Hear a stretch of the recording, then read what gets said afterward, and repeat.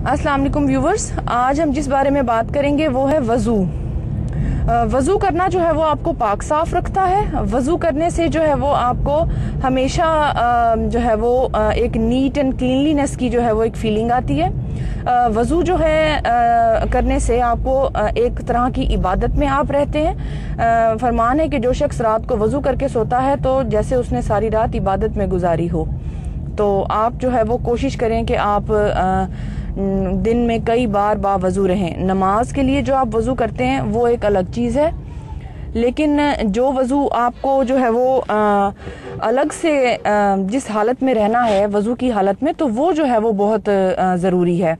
अल्लाह ताला के जो नेक लोग हैं वो दिन में कई बार नमाज़ों के अलावा भी वज़ू करते हैं और वज़ू की हालत में ही रहते हैं। थोड़ा सा इसको एलेबोरेशन में अगर मैं लेकर आऊँ तो ये भी कि अगर आप बावज़ू रहते हैं तो आप जो है वो गुनाहों से भी बचते हैं।